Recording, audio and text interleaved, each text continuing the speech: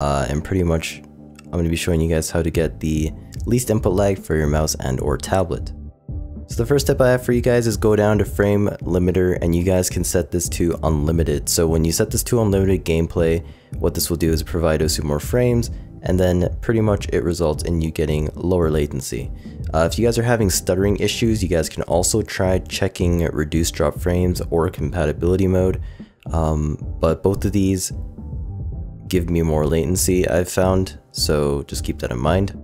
The next thing you can do is scroll down to resolution and if you guys are not already playing on native full screen, what you guys can do is uh, either play native full screen or if you guys are playing a lower resolution, let's say you're playing 1366 by 768, what you can do is actually just uh, check letterboxing and then check full screen mode. And what that'll do is just put a black square around your game and it will allow for your game to be windowed, but still be full screen. Alright, so the next thing you can do is actually detail settings. Uh, toggling most of these off will actually provide less latency, so a lot of these like storyboards, background video, they add lag to your game. Uh, so if you want less lag and you want less input lag, what you can do is just disable all these detail settings. Uh, one that I, I personally leave on is snaking sliders, but that's completely up to you. Alright, the next thing varies from person to person, but this is going to be raw input. So raw input, I generally have that on and I'm a tablet player. Uh, I feel like this is more, this works well for mouse players, but for tablet players, you can experiment around with this. And if you find that you have less latency while playing with raw input on, then you can keep it on.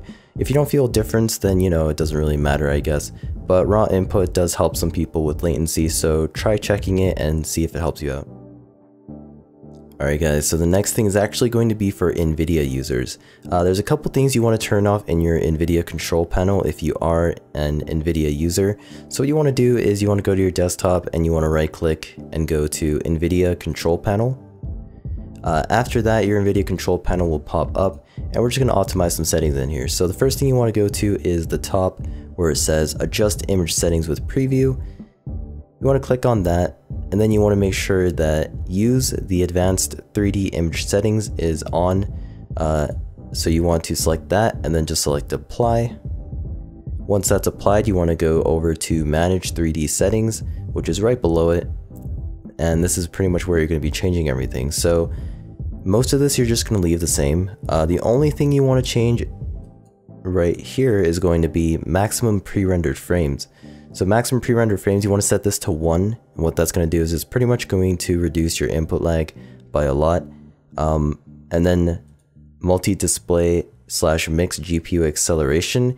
If you guys have multiple monitors, obviously you want to leave this on multiple display. But if you guys have a single monitor, then you want to make sure it's on single display. Alright. Going down, power management mode. Put this on prefer maximum performance. Scroll down even more and you will see vertical sync. This is very important to have off, so you just want to toggle vertical sync off and also make sure that triple buffering is off as well. And once you have made sure that those are off and maximum pre-render frames is set to 1, you're pretty much good to go. Alright guys, so the next thing we have here is going to be um, your actual Windows like aesthetic settings pretty much. So you want to go to your PC and you want to right click it and go to properties and then you're going to open your systems tab.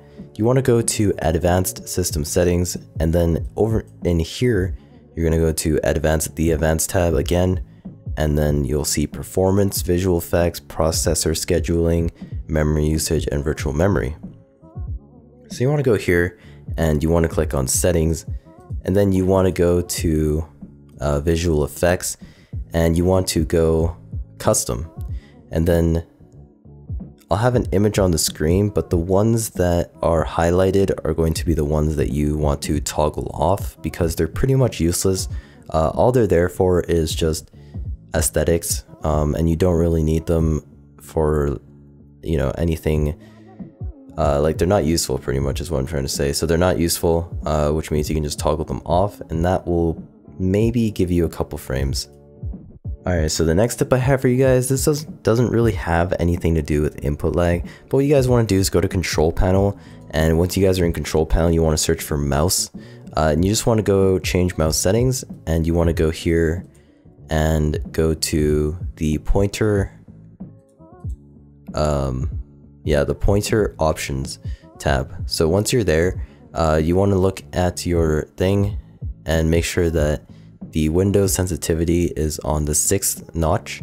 Um, so you just count from the left, one, two, three, four, five, six, and then it should be on the sixth notch. Uh, and then below you have enhanced pointer precision. You want to have this toggled off uh, because this pretty much just gives your mouse uh, mouse acceleration, which is bad pretty much for aim, uh, both in Counter-Strike and Osu. So if you are a mouse player, uh, I think this might apply for your tablet as well, I'm not sure. But you just want to make sure that enhanced pointer precision is toggled off. Alright guys, so the next tip I have for you is just to keep all your drivers updated. So if you guys have AMD drivers, NVIDIA drivers, doesn't really matter.